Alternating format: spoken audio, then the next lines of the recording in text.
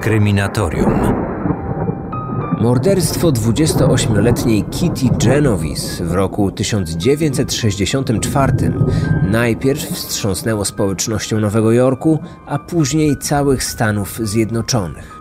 Sprawca dwa razy wracał na miejsce zbrodni, aby dokończyć dzieła, a napady na kobietę obserwowało kilkudziesięciu świadków.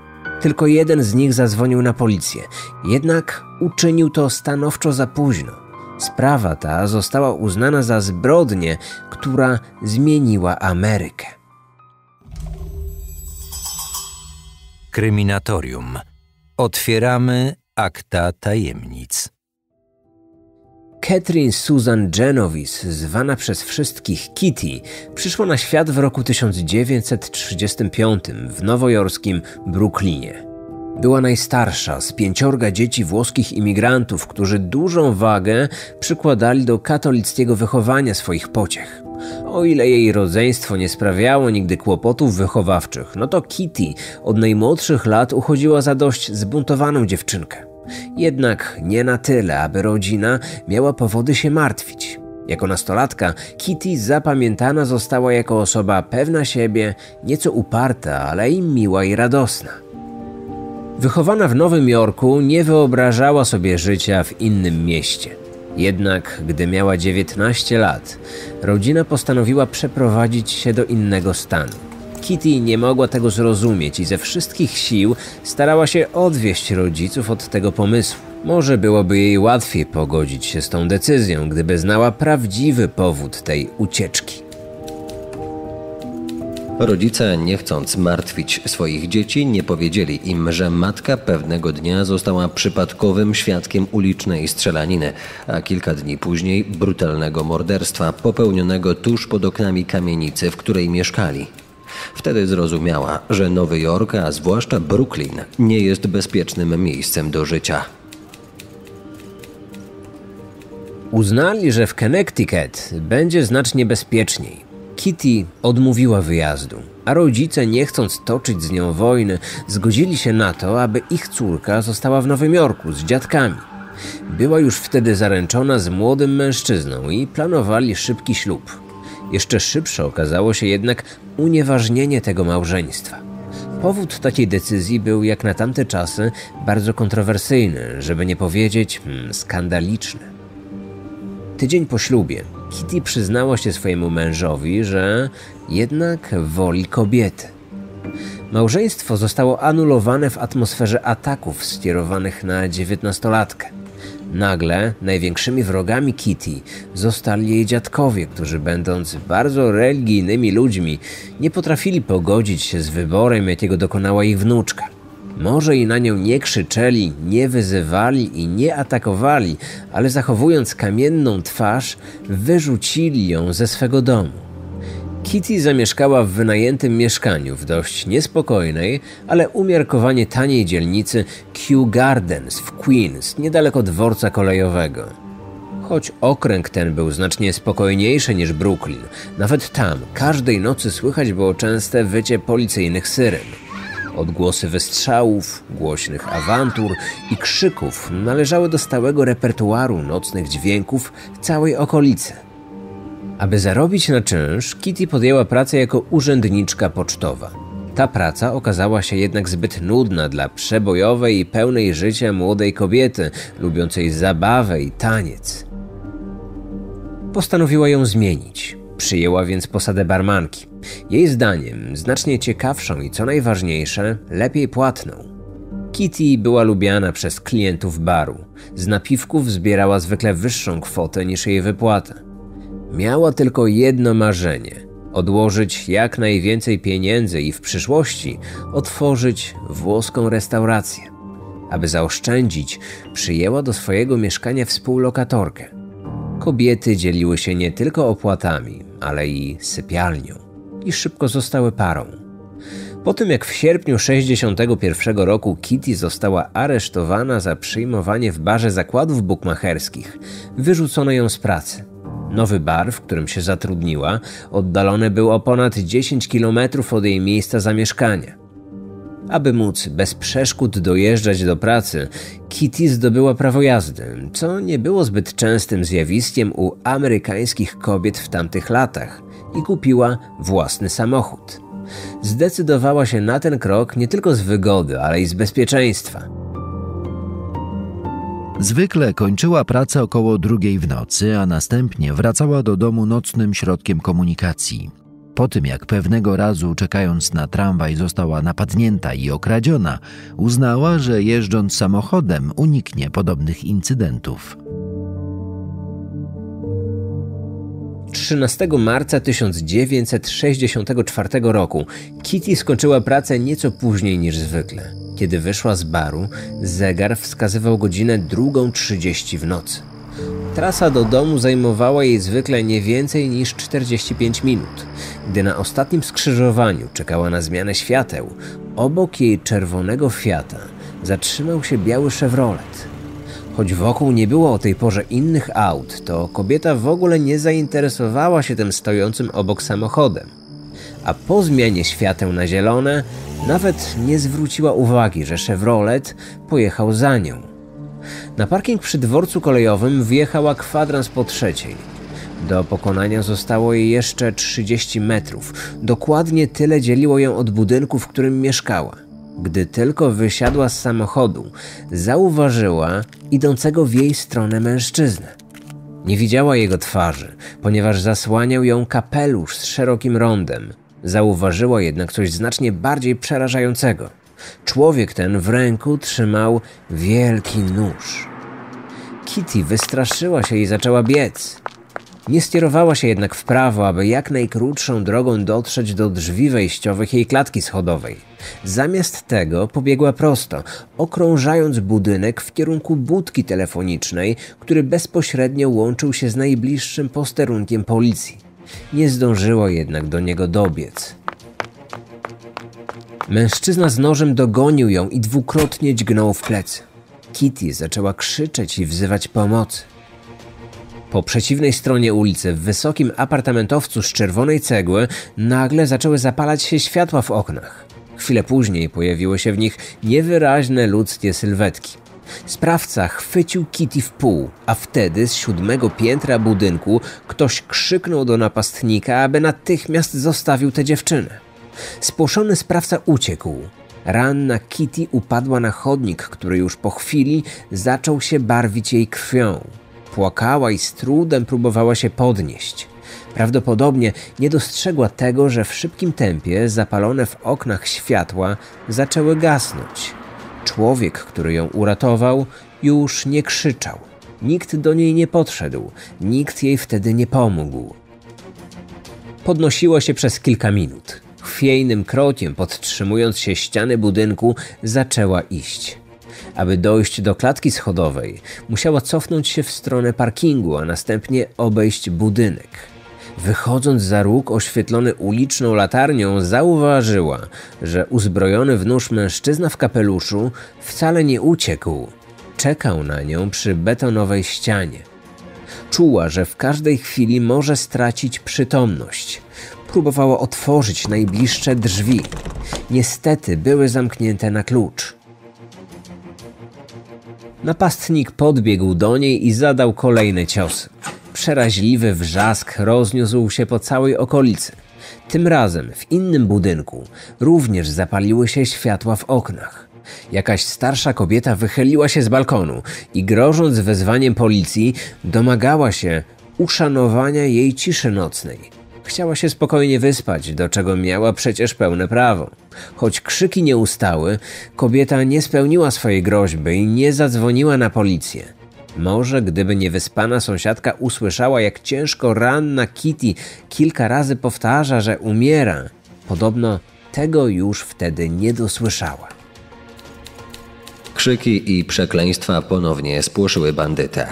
Pobiegł on do swojego samochodu i odjechał, jednak nie po to, aby oddalić się z miejsca, w którym chwilę wcześniej dwukrotnie zaatakował 28-letnią kobietę.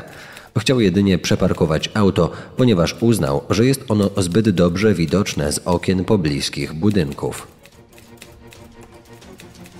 Ktoś przecież mógł zapamiętać charakterystycznego białego Chevroleta i powiązać go później z jego osobą. Na kolejowy parking mężczyzna z nożem powrócił 10 minut później. Okna znów były ciemne, a ulica pusta. Zasłaniając twarz kapeluszem, na wypadek, gdyby jednak ktoś stał w oknie przy zgaszonym świetle, napastnik obszedł parking. Zaglądał w każdy zakamarek, za każdy krzak. Szukał swojej ofiary. Gdy ją zostawiał, jeszcze żyła. Nie miał pewności, że umarła. Musiał dokończyć to, co zaczął. Przecież mogła widzieć jego twarz. Tylko jedne z wielu drzwi prowadzących do klatek schodowych budynku nie były zamknięte na klucz. Uchylił je ostrożnie i wsunął głowę. Zobaczył, że zakrwawiona kobieta leży na podłodze tuż przy schodach. Wciąż żyła, ale nie miała siły się podnieść. Wszedł do środka i zamknął za sobą drzwi. Pomyślał, że teraz to już na pewno nikt go nie zobaczy. Najpierw kilka razy dźgnął ją nożem. Gdy nabrał pewności, że jego ofiara już nie żyje, zgwałcił, tak jak planował, od chwili, kiedy ujrzał ją w czerwonym fiacie, gdy razem czekali na zielone światło.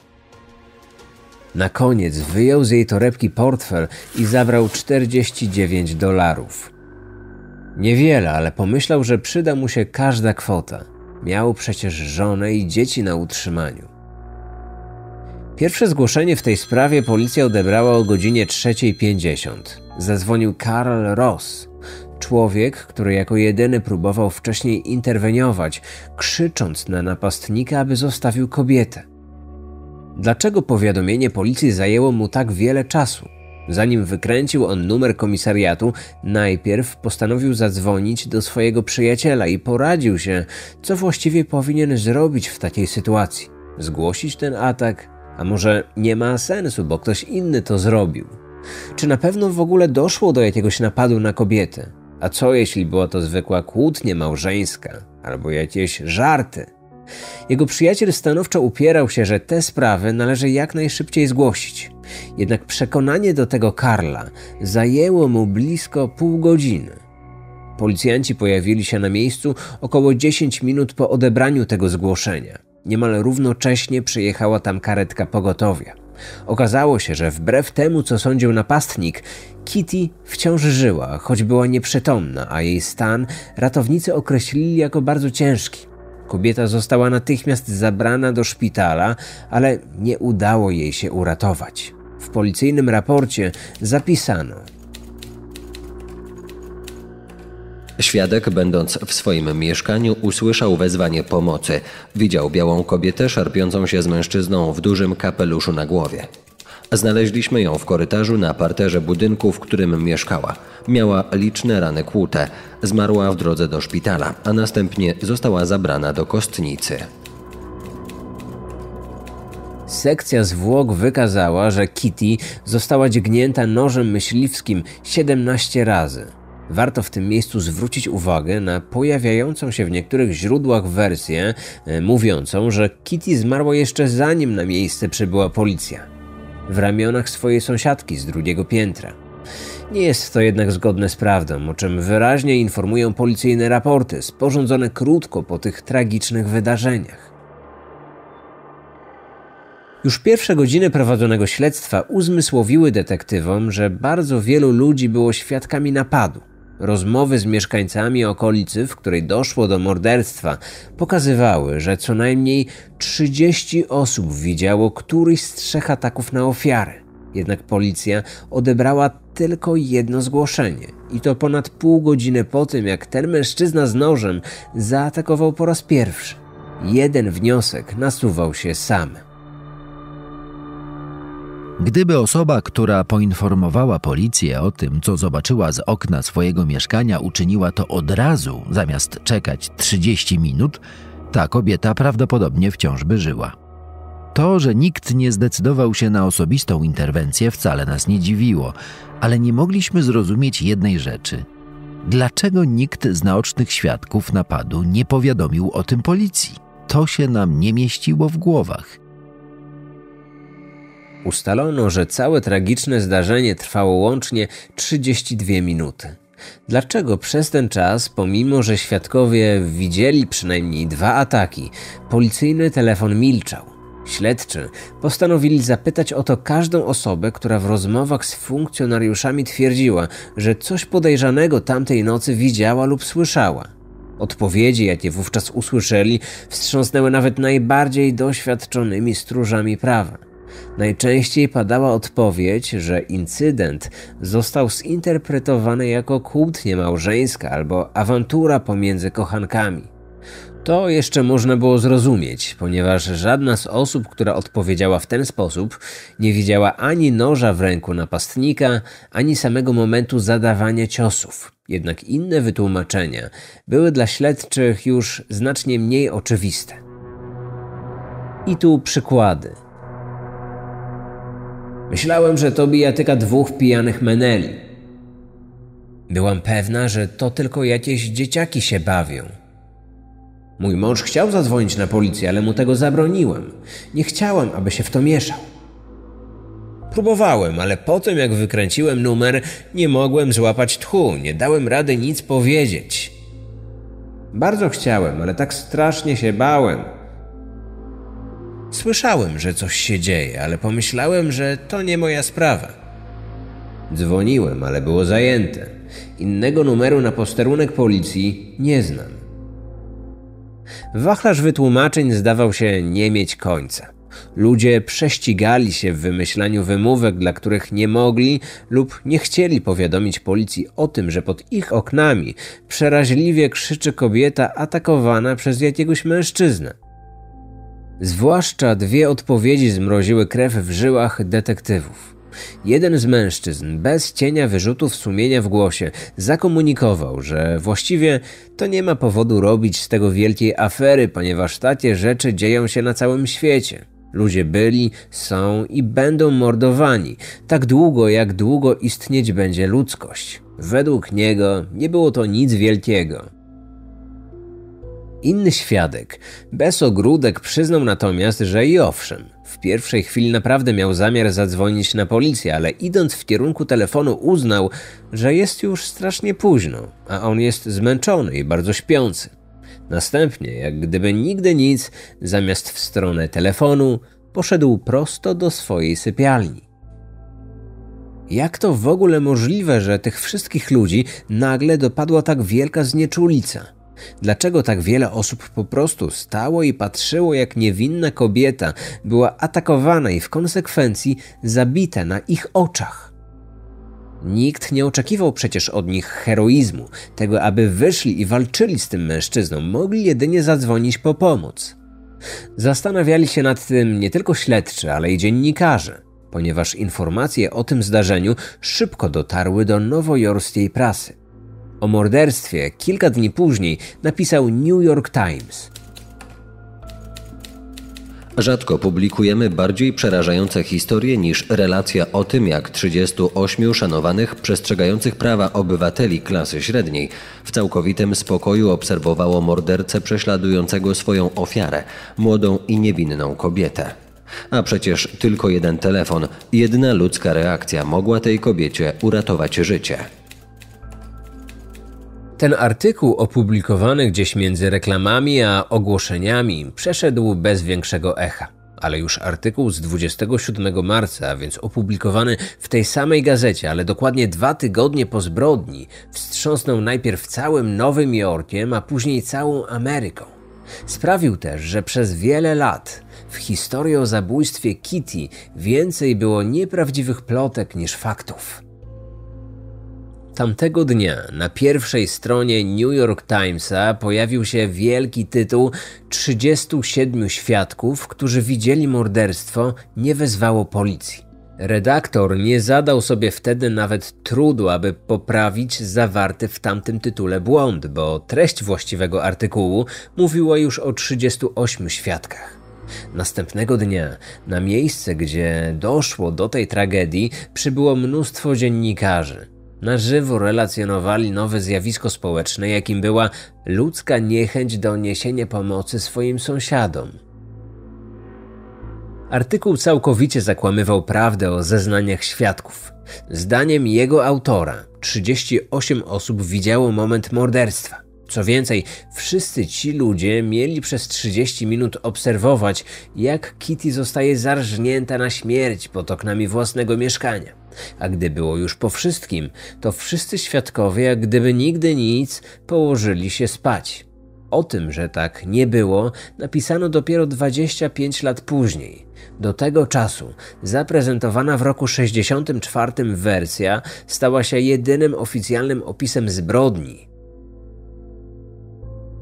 Po opublikowaniu tego kłamliwego artykułu, cała Ameryka była w szoku.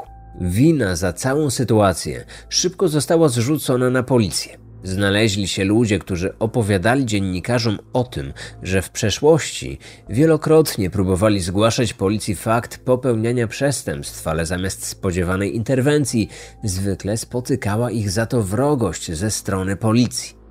Okazało się wtedy, że często dochodziło w takich przypadkach do zniewag, wyzwisk, a nawet zastraszania zwykłych obywateli przez przyjmujących zgłoszenie policjantów. Na jaw wyszło również to, że problem ten nie dotyczył wyłącznie Nowego Jorku. Takie rzeczy działy się na terenie całych Stanów Zjednoczonych i to od wielu lat. Opisywane sytuacje miały miejsce w przypadku, kiedy zgłaszającemu udało się w końcu dodzwonić na policję, a nie wszyscy mieli tyle szczęścia. Tamtych czasach wezwanie pomocy wcale nie było taką łatwą sprawą. Choć dziś może się to wydawać nieprawdopodobne, nie było wtedy jednolitego numeru alarmowego ułatwiającego wzywanie pomocy. Aby powiadomić nas o popełnieniu przestępstwa lub jakimkolwiek innym zagrożeniu, Amerykanie musieli się dodzwonić do konkretnego posterunku policji z danego okręgu. Inną opcją było wybranie cyfry 0 i skontaktowanie się z operatorem telefonicznym. Dopiero on łączył dzwoniącego z odpowiednim numerem. Czasami cała ta operacja trwała stanowczo za długo. Gdy pomoc w końcu nadchodziła, często okazywało się, że było już za późno na ratunek albo interwencję. Dopiero przyszłość pokazała, że ta śmierć na stałe zapisała się w amerykańskiej historii. Nie z powodu swojej brutalności, niezwykłości lub tajemniczości, bo Ameryka doświadczała przecież o wiele gorszych i głośniejszych zbrodni, ale właśnie z powodu przyczynienia się do powstania jednolitego numeru alarmowego, którego trzy cyfry znane są do dziś na całym świecie. Mowa tu o słynnym numerze 911. Uważni słuchacze mogą kojarzyć pewne fakty, bo o początkach tego numeru alarmowego oraz o tym, że korzystają z niego nawet mordercy, wspominałem w jednym z wcześniejszych odcinków. Mowa o numerze 156. Jeżeli nie kojarzycie, warto wrócić do tego epizodu. Sprawą społecznej apatii zajęli się również czołowi amerykańscy psychiatrzy i psychologowie. Powstały też nowe określenie tego zjawiska, z istnienia którego niewiele wówczas osób zdawało sobie sprawę. Jedni nazywali to syndromem Kitty, inni proponowali efekt widza lub przechodnia. Zwykli obywatele mówili wprost o społecznej znieczulicy, jednak do fachowej terminologii trafiło pojęcie dyfuzji odpowiedzialności. Dyfuzja odpowiedzialności, nazywana także rozproszeniem odpowiedzialności, polega na obniżeniu się prawdopodobieństwa zareagowania świadków kryzysowego zdarzenia wraz ze zwiększaniem się liczby świadków tego zdarzenia.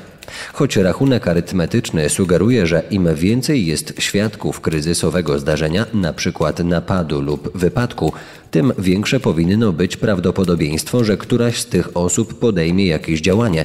To przeprowadzone eksperymenty społeczne dowiodły, że wraz ze zwiększaniem się ilości świadków prawdopodobieństwo reakcji któregokolwiek z nich spada. O ile rozprawy psychiatrów i psychologów były oczywiście niezwykle ważne, no to jeszcze ważniejsze, przynajmniej z punktu widzenia śledczych, było schwytanie mordercy.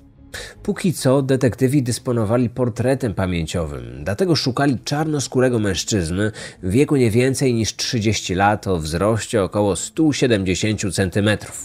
Jeździł białym Chevroletem i nosił wielki kapelusz. Tyle mieli informacji. 19 marca 1964 roku, a więc 6 dni po zabójstwie, w środku nocy dwóch ludzi podeszło do czarnoskórego mężczyzny, który właśnie wkładał do bagażnika swojego samochodu telewizor. John i Jerry byli sąsiadami. Popijali właśnie piwo na werandzie, gdy zobaczyli nieznajomego wychodzącego z pobliskiego domu, którego właściciele wyjechali na wycieczkę do Europy. Zapytany o to, skąd ma ten telewizor i dlaczego wynosi go do samochodu o tak późnej porze, czarnoskóry mężczyzna, wskazując konkretny dom, odpowiedział, że właśnie pożyczył go od bliskich przyjaciół. Tłumaczył, że jego sprzęt się zepsuł. John i Jerry dobrze jednak znali tych bliskich przyjaciół.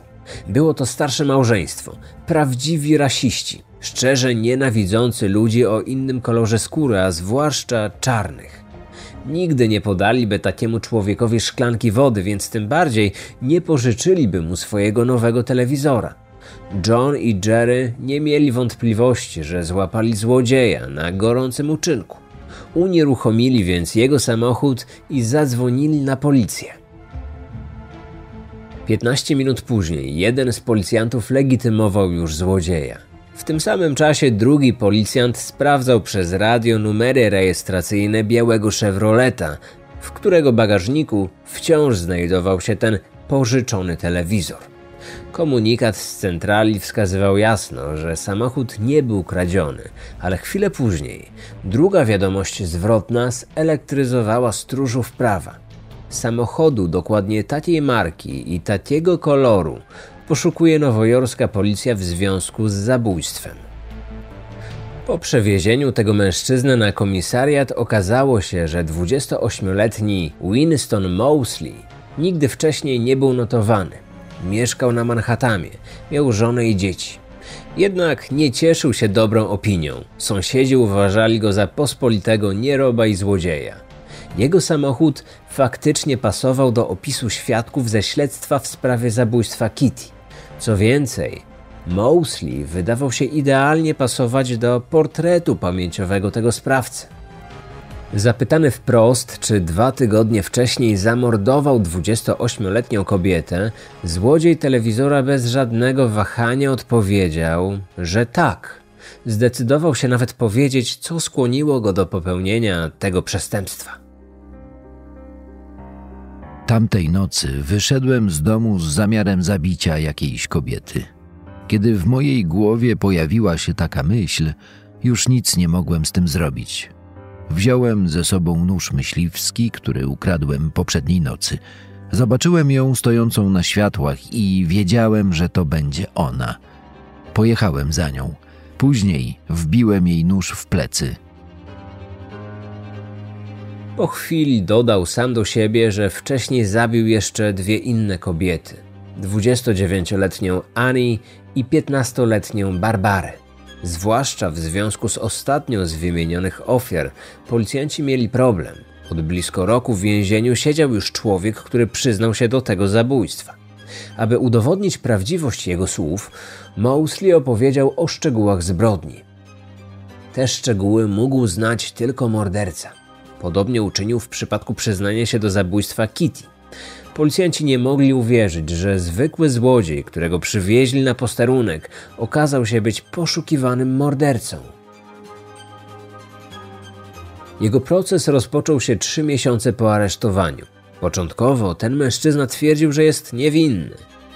Później zmienił zdanie, a jego obrońcy próbowali przekonać ławę przysięgłych o niepoczytalności.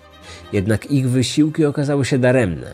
Zwłaszcza, że wkrótce zaczął ze szczegółami opowiadać o tym, jak obserwował, śledził i zaatakował swoją ofiarę. Wtedy obrońcy zaczęli jeszcze bardziej forsować tezę o chorobie psychicznej ich klienta, że miał dwa skrajne oblicza, które w zależności od pory dnia przejmują nad nim całkowitą kontrolę. Za dnia miał stałą pracę i rodzinę, kochał żonę i swoje dzieci. Nie różnił się niczym od innych przykładnych obywateli, ale w nocy zmieniał się w prawdziwego potwora, uzależnionego od morderstw i seksualnych szaleństw. Jego obrońcy pytali ławę przysięgłych, czy normalny człowiek zabiłby kogokolwiek, gdyby wiedział, że jest obserwowany przez kilkadziesiąt osób? Proces mordercy trwał zaledwie trzy dni. 11 czerwca o godzinie 16 ława przysięgłych udała się na naradę. 6,5 godziny później zapadł werdykt. Oskarżony został uznany za winnego morderstwa pierwszego stopnia, czyli popełnionego z pełną premedytacją. Gdy sędzia odczytał wyrok, sprawca stał niewzruszony, a jego twarz nie okazywała żadnych emocji. Cztery dni później ponownie zebrał się sąd. Tym razem po to, aby ogłosić, na jaką karę zasłużył morderca. Prokurator w mowie końcowej niemal błagał ławę przysięgłych o karę śmierci.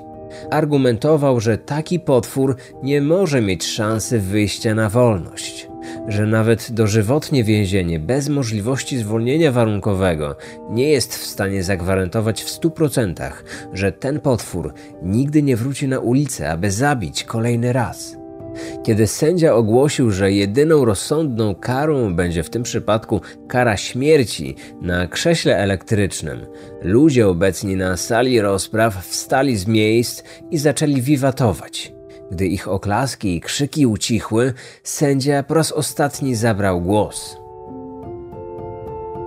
Nie popieram takiego zachowania. Nie popieram tego, że ktokolwiek może klaskać i cieszyć się w sytuacji, gdy człowiek zostaje skazany na śmierć. Nie popieram, ale takie zachowanie jestem w stanie zrozumieć. Nie popieram również kary śmierci i nie wierzę w jej słuszność. Ale kiedy widzę takiego potwora, osobiście nie zawahałbym się sam pociągnąć za przełącznik, aby włączyć prąd. Ostatecznie morderca Kitty nigdy nie usiadł na krześle elektrycznym. Z czasem jego wyrok zmieniono na dożywotnie pozbawienie wolności. W późniejszych procesach podobny wyrok usłyszał za zamordowanie dwóch innych kobiet, do czego sam się przyznał.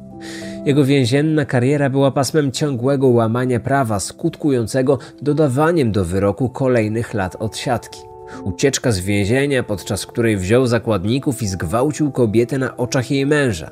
Udział w buncie więźniów zakończonym śmiercią 10 strażników i 29 osadzonych. Samo okaleczenia zakończone operacjami, które tylko cudem uratowały mu życie.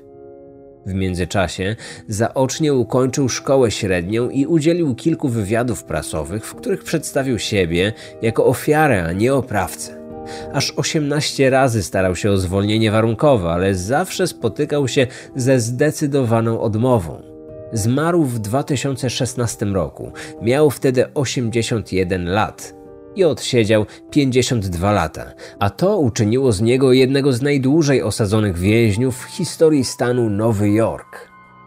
Choć sprawa zabójstwa Kitty nie wyróżniała się niczym szczególnym spośród setek innych spraw w kryminalnej historii Stanów Zjednoczonych, ani pod względem brutalności, ani pomysłowości sprawcy, to śmierć tej 28-letniej kobiety nie odeszła w zapomnienie.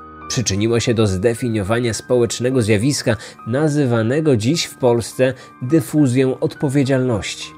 Jednak Amerykanie, jak to Jankesi, wolą nazywać zjawisko po swojemu. Dla nich jest to po prostu syndrom Kitty.